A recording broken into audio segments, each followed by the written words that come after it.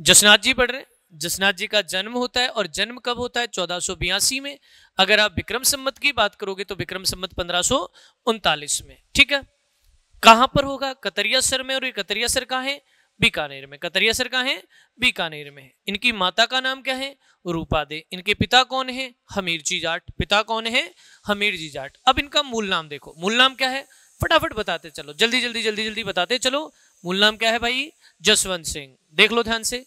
और पत्नी कौन है? कालदे। एक तो पत्नी और नाम भी क्या है फिर? कालदे। गुरु कौन है? गोरक्षनाथ। अगला देखो। लोह पालंगल नामक एक तांत्रिक है। इस तांत्रिक का घमंड इन्होंने क्या कर दिया? तोड़ दिया चूर चूर कर दिया। इन्होंने एक संप्रदाय बनाया। उस संप्रदाय को देखो। ध्यान से देख पा रहे हो? आवाज़ ठीक ठीक है आपके पास? तो जल्दी जल्दी कमेंट्स करके सारे के सारे बताते चलो कि संप्रदाय कौन सा है? जसनाथी संप्रदाय है और जसनाथी संप्रदाय की स्थापना कब होती है? 1504 में होती है। कहाँ होती है? कतरिया सर में होती है और कतरिया सर आपको पहले से पता है कहाँ है? बीकानेर में। इनके अनुयायी कितने काम कर रहे हैं? दो काम। एक काम क्या कर रहे हैं? छत्तीस नियमों का पालन। दूसरा, गले में क्या पहन रहे हैं? काला धागा। इनकी जो पवित्र चीज़ें वो कितनी है? दो। पहली, मोरपंख। दूसरा चाल वृक्ष इनकी प्रधान पीठ है कतरिया सर में और ये कहा है? बीकानेर। अब देखो, इनके मेले लगते हैं एक वर्ष में तीन बार। पहला मेला आश्विन चैत्र में, दूसरा आश्विन में और तीसरा माघ में। और तीनों की तीनों माहों का पक्ष कौन सा है? शुक्ल पक्ष। और तीनों की तिथि कौन सी है? सप्तमी है। यानी चैत्र शुक्ल सप्तमी अश्विन शुक्ल सप्तमी और माघ शुक्ल सप्तमी को इनका क्या लगेगा? मेला लगेगा। देखो, मेले में आप एक चीज़ और देख सकते हो। ये मेले लगेंगे कहाँ? कतरिया सर में। ये कहाँ लगने हैं साथियों? मेला कहाँ लगना है? कतरिया सर में। ठीक है? ये बात भी आप ध्यान रखना। चलो, अगली बात देखो।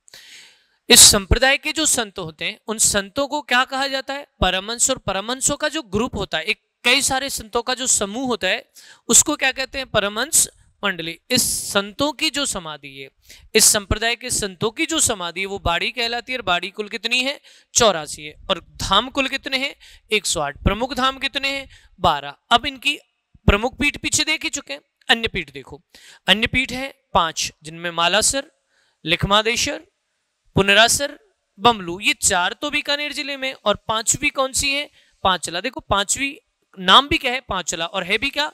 पाँचवें नंबर पे तो पांचवी है पांचला जो का है नागौर में। अगर इनकी कुल पीठों की चर्चा करें तो कुल पीठ इनकी कितनी है? पाँच है। इसके बाद आप आगे चलोगे और देखोगे कि 500 ईस्वी में जसनाथ जी की, सॉरी 1500 ईस्वी में जसनाथ जी की मुलाकात होती है किससे? जाम्बोजी से होती है। और कहाँ होती है? गोरखमालिया मेरी गोरखमालिया कहाँ है बीकानेर में। इसके बाद हमने देखा जसनाथ जी के समकालीन। एक तो कौन है? जाम्बोजी। जसनाथ जी के समकालीन एक तो कौन है? जाम्बोजी है। जाम्बोजी के बाद कौन है? राव बीका है। राव बीका के बाद कौन है? सिकंदर लोधी है। और सिकंदर लोधी के बाद कौन है? लुणकरण सर। सिकंदर लोधी के बाद कौन है? लूणकरण सर। ठीक है।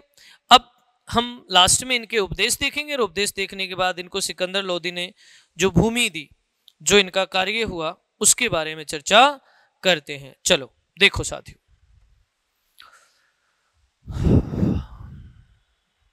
इनकी समाधि कब ली इन्होंने? 1506 में। अब समाधि देखो, कब हुई है?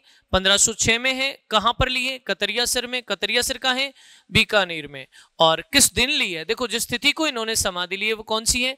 अश्विन, शुक्ल, सप्तमी। इनके उपदेश देखिएगा। साथियों, इनके उपदेशों का जो संकलन है, जिन पुस्तकों में, जिन ग्रंथों में इनके उपदेशों का संकलन किया है, वो दो हैं। एक का नाम है कोड़ा और दूसरे का नाम है सिम्भूतड़ा समझ में आ गई? कोड़ा और सिंभूतड़ा ग्रंथों में इनके क्या संकलित है? उपदेश संकलित